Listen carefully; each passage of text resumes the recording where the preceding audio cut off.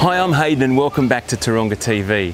This summer we've been travelling the whole wild world at Taronga and we really encourage you to get down to Taronga and meet some of the animals in our care and also find out about some of the amazing places they come from. Today we're taking a closer look at the Asiatic elephant. Now they occur in countries like India, Nepal, Sri Lanka, southern China and right across Southeast Asia. Our particular elephants originated in Thailand. Now African and Asian elephants are a little bit different. African elephants are bigger than Asiatic elephants but there's also another unique difference between the two of them. And I caught up with keeper Daryl earlier. Have a listen to this.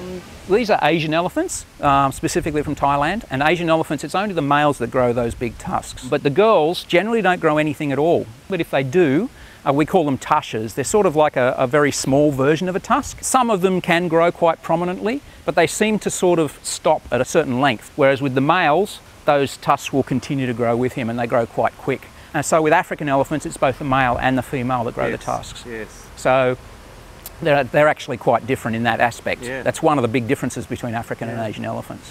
Interesting stuff, hey? Well, you can come down and see our elephants up close and personal. You've got to jump on taronga.org.au, get your tickets, get down to the zoo. We can't wait to see you, and you can travel the whole wild world with us and meet so many different creatures from around the planet.